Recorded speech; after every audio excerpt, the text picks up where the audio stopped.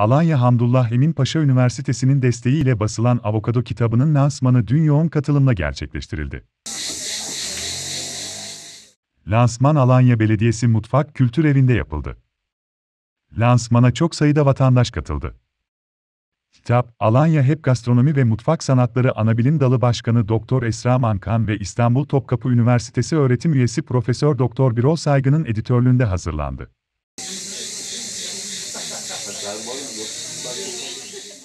Alanya Hep Üniversitesi'ne destekleri için teşekkür eden Doktor Esra Mankan, Alanya'mızın tropikal meyveler ve avokado açısından büyük bir cennet olduğunu tüm dünyaya göstermemiz gerekiyor dedi. Alanya muhteşem bir coğrafya, muhteşem bir lokasyon. Gastronomi bölümü öğrencilerimiz, aşçılık bölümü öğrencilerimiz ya da başka programda okuyan öğrencilerimiz son derece şanslı.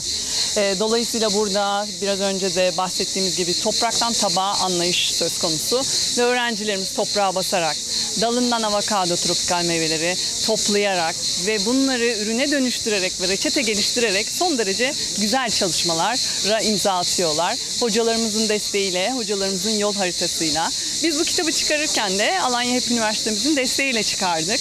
Ee, Gıda mühendisi hocalarımızla beraber onlar destek verdiler. Aynı zamanda öğretim görevlisi profesör hocalarımızdan oluşuyor.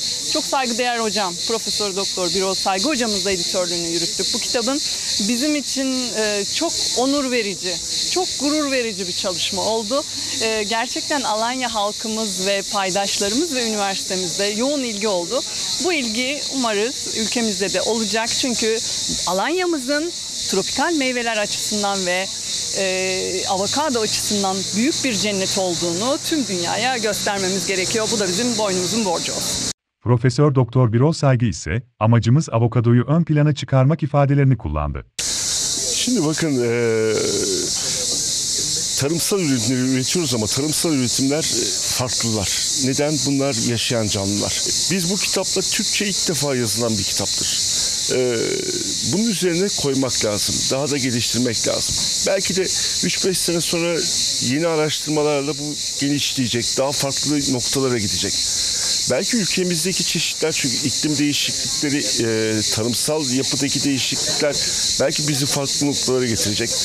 Ama bunun başlangıcını yapmak çok keyifli. Alanya Belediyesi Çevre Koruma ve Kontrol Müdürü Sevda Çapa'da kitaba dair açıklamalarda bulundu. E, yöremiz adına güzel bir çalışmaya e, burada misafirperverlik yaptık onlara. E, avokado biliyorsunuz bölgenin çok önemli ürünlerinden biri. Şehrin marka değerini yükselten bir ürün. Bununla ilgili pek çok çalışma yapıyor. Pek çok kurumla işbirliği şeklinde çalışmalarımız oluyor. E, AHEP de bu konuda bir üniversite olarak bir üniversiteye yakışır bir şekilde gerçekten kapsamlı bir avokado kitabı çıkardı. O yüzden burada onlarla beraber olmaktan çok mutluyum. Aynı zamanda da yıllar önce kitaplarını okuduğum Birol Saygı Hocam ve Esra Mankan Hoca'nın da bu konudaki büyük emekleri var kitapta. Ee, şehrimiz için üretiminden tüketimine kadar e, gerçekten her aşamasında güzel bir akademik çalışma.